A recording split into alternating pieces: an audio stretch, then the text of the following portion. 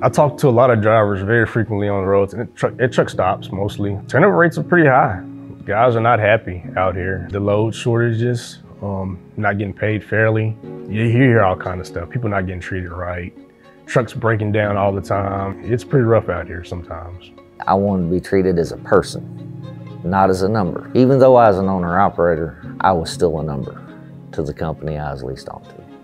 And it didn't work. It was whatever was more comfortable for them is what I had to do, not with what was more comfortable for me. I'm from Houston, Texas.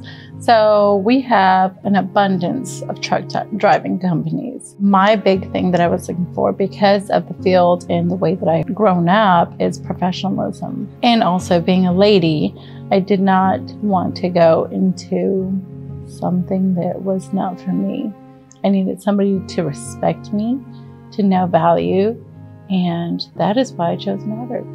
I wanted to be a part of something, the pride of belonging. And I seen the way that Maverick was, was they take very much pride in the image and the, the brand that they have. And that's the big driving force that brought me here because I seen all that and I wanted to be a part of that.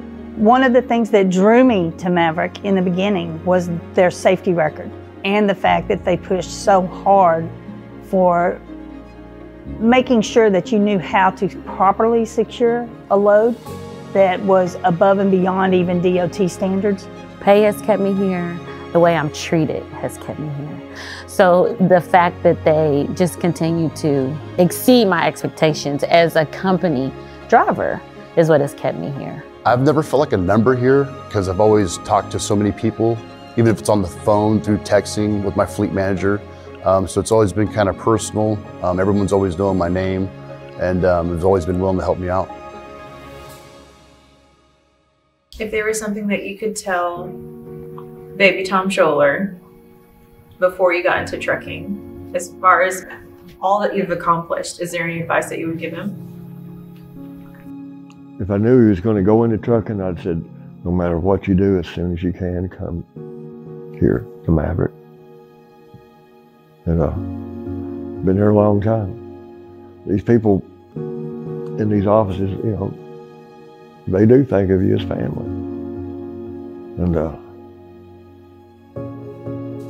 they've been here for everything I needed.